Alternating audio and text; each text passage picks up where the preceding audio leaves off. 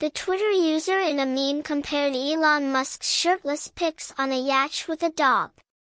Musk, unperturbed by the meme, was in fact quick to respond.